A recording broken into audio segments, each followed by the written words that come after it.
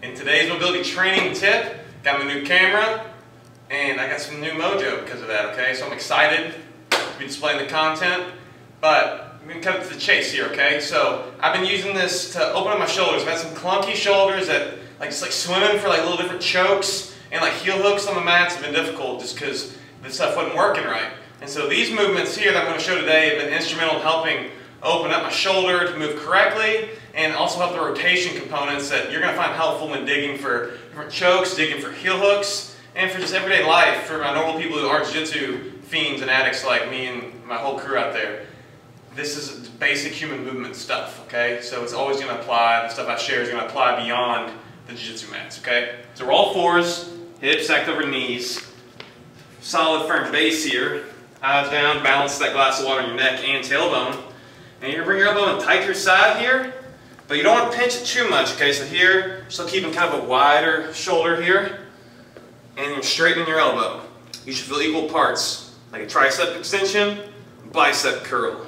Tricep extension, biceps curl. Notice that my elbow is not moving. It's staying up here, keeping a broad chest, broad upper back. And this is going to be real good, say, for example, for my jiu-jitsu guys, you're wanting to dig for a heel, that little robot arm to get a heel hook, it's that same movement, okay? I do that in conjunction with rotation for the thoracic spine there between the shoulder blades, helps our twisting and our opening up of our chest. We go here, same initial position. We reach through, we go to the ceiling. We reach through, we really reach. You should feel almost like you're doing a chest fly here. That chest muscle should fire and then we go to the ceiling, okay? Now this is gonna help us here with this motion here, shooting through on a choke. You see that? Bring it through. And again, try to keep this straight. My shoulders are a little clunky right now, so I'm not perfect, but I'm trying to do my best for you, okay? Reaching through, and then to the ceiling, and I'm doing like the hitchhiker escape, where I'm opening, getting the stretch along here.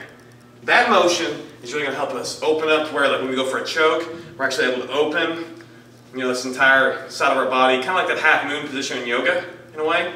But those two shoulder movements from that all fours position will go a long way. And it's kind of opening you up, getting your grooving correctly, not being too collapsed, not being too open, but just allowing those shoulders to just function and be, be mobile, be stable.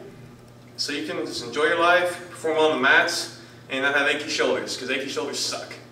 So, until next time guys, stay mobile, connect with me below, subscribe, like, comment, got that free ebook below. Have a good one.